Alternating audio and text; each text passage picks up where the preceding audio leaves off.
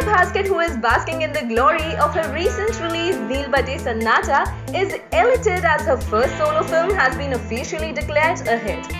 The fact that this film will now be counted in the category of small budget, high on content, women oriented films that did well at the box office like Piku, Mardani, NH10 to name a few. However, the actor is also happy since she is in very much love. In a recent interview, Swara confirmed that the fact she has been dating Himanshu Sharma. He has been the scriptwriter for Tanu Weds Manu franchise and the movie Raanjhanaa and has won accolades for his writing. So what do you feel about this story? Please do share in your comments.